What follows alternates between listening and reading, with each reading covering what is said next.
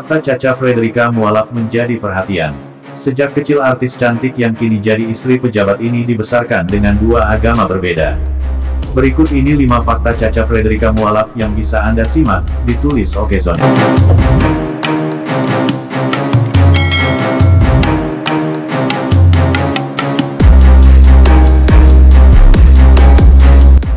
Kakeknya pendeta, kakek Caca Frederica merupakan seorang pendeta. Namun keluarga sang mama merupakan pemeluk agama Islam yang cukup kuat.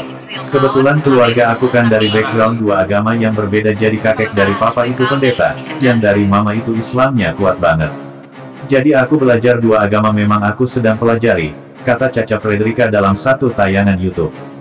Penasaran dengan Tuhan, Caca bahkan ingat dirinya bingung dengan keyakinan yang dianut keluarga.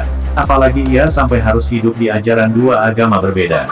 Dia juga sangat penasaran tentang Allah dan Yesus. Umur 9 tahun aku udah punya pertanyaan Allah itu siapa Yesus itu siapa, simple. Ini jadi isu juga di keluarga aku, katanya. Rayakan Natal dan Lebaran. Caca bahkan merayakan dua hari besar agama dalam setahun, yakni Lebaran dan Natal. Aku Natalan ikut Natalan, Lebaran ikut ketupatan, jadi aku saat itu bingung, kok aku ikut ini, tambahnya. Mengenal agama lewat banyak sumber.